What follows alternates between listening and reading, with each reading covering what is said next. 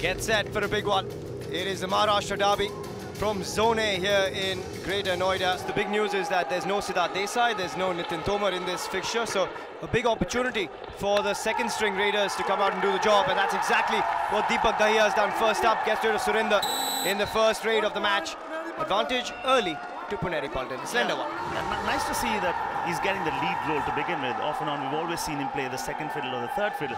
Now the lead role is something that he's doing. Opens the account. He got away with it, I think. You, you know what? You, you can be penalized out there. The defense was thinking of penalizing, but what he does is backtracking skills. Great there by Darshan Kadian. You know, he's an impressive young raider. We saw him for just flashes in this tournament so far because he's not been needed. But in those flashes, he was already so impressive. Breaks through Sandeep Narwal and the man coming in from the left side, Rinku Narwal. So that is a, a fine young raid. Uh, this is the do or die opportunity and a super tackle opportunity as well now. Darshan Kadian is the man there. Girish Ernak and Monu is it? Yeah, and Monu. Monu has him! Fantastic! One more super tackle. 20th of season 6 for Puneri Paltan. They're outstanding in that region. The super tackles, they've done so well and always dangerous when you run parallel to the balk line, parallel to the bonus line, and that's what Darshan Kadian does. Runs straight into Monu, and he is such an impressive campaigner. Didn't need the help either. Absolutely, solo tackles well. That's the reason when I always say when you have a lone man standing in the end, and this time around, can they do what they have been doing right through the season? It's actually the super tackles that have saved them so so many times. And More steps off, and now he should be able to complete the all-out here. Should be able to complete it. There you go. It's Girish Ernak that's attempting it. That's four points in the bag. Two from the defenders, two for the all-out. And there it comes for U Mumba.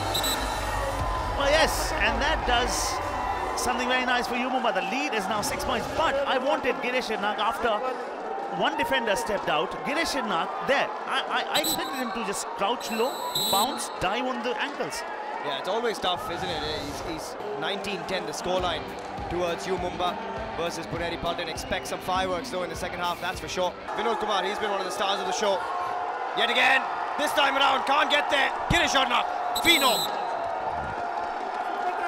Yeah, Vinod Kumar couldn't quite get there. And it's actually GB More who chips in also. But Shubham Shinde, the man on the far corner who starts things off. Oh, tries a fantastic toe touch, very skillful, rises up in the same motion, but they've had it. This is where they are so very lethal. GB More, this time around, goes in with a thigh hold. Puneri Paltan with the super tackle, do or die opportunity each time, and that's the last man standing, and that is massive from Surinder. Another all out. And I don't think the bonus was given either. Well, it should be three points. There you go. One for the tackle, two for the all-out. Three points in the bag, and that's an all-out for U, Mumba.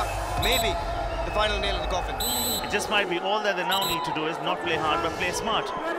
If you look at the time, six and a half minutes to go. Very, very healthy lead. Some, something that they've not enjoyed over their arch rivals.